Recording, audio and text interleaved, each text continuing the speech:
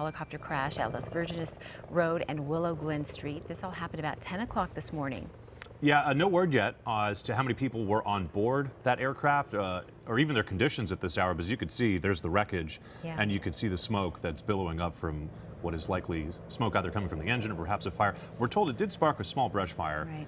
But I'd say the good news, if there would be any, is the conditions right now not really good for fueling a wildfire. But they've got to investigate what led to this chopper going down. You could see the first responders on the scene right there. Looks like firefighters are sort of walking through the area, assessing what exactly happened. The And- LA County Sheriffs have just they just tweeted out uh, a little bit of information again. They said this happened about 10 o'clock this morning.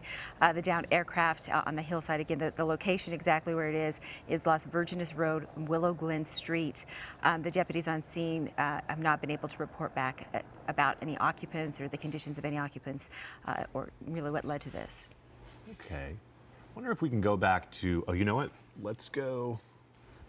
We have some pictures.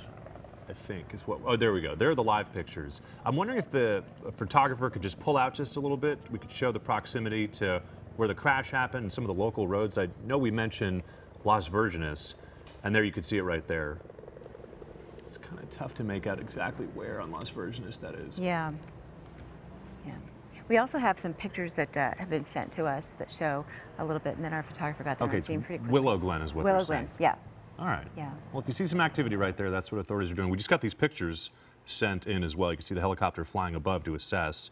You can see some of the smoke. Looks like, it, you know, there is smoke, but it also looks like it may have been a little bit foggy through there. Uh-huh. I'm not sure if that's been the situation in that area, but you can see how quickly uh, first responders arrived on scene. And in the video from our uh, KTLA uh, photographer on scene, you can see that the first responders are actually, you know, right there up against Right. uh, the wreckage.